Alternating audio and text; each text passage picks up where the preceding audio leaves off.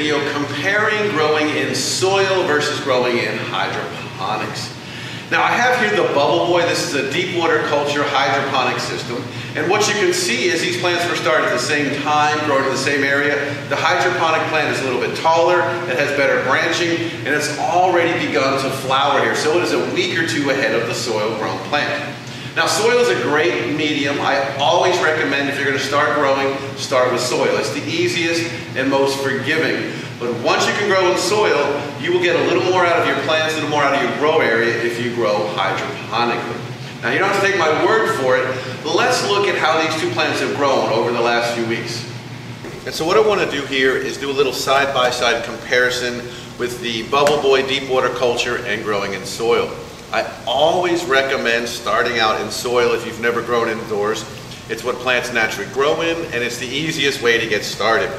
But what I'm hoping we do a side-by-side -side comparison is we'll see the benefits of growing hydroponically. Once you can handle growing in soil, a lot of growers then switch to hydroponics.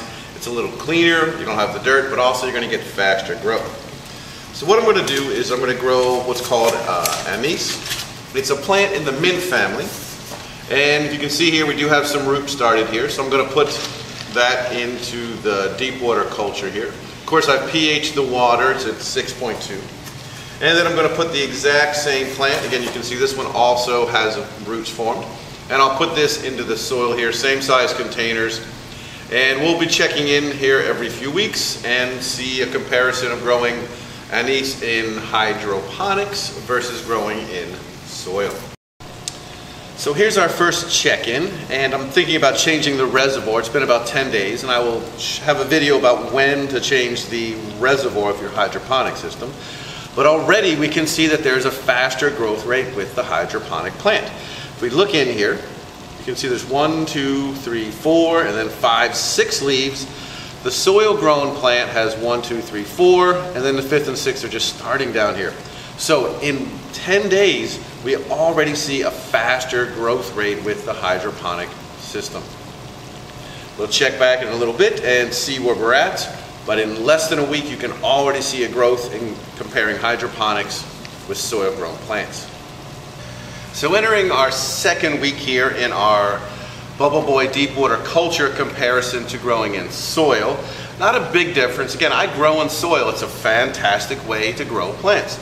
But if you look here, the leaves on the hydroponic are a little bit bigger, and you might not be able to see it here, but the hydroponic plant is getting some little growth here on the node. It's gonna get some branching, whereas the soil plant here is not really getting these nodes yet.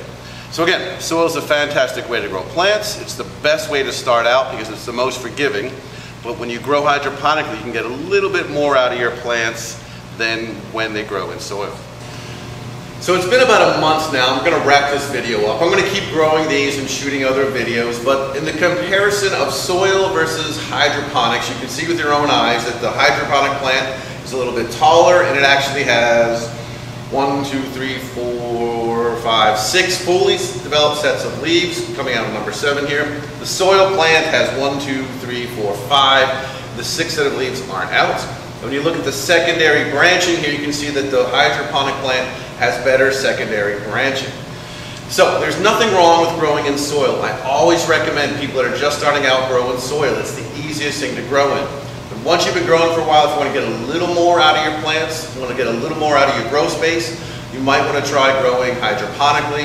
And the Bubble Boy, this deep water culture, is one of the best ways to get started in hydroponics. So, hydroponics is a way to get more out of your plants compared to soil. If you have any questions, please feel free to leave them in the comments. You can, of course, check out other videos on Instagram TV as well as YouTube. And you can always go to htgsupply.com backslash information center to look for videos there. Thanks for watching. Good growing.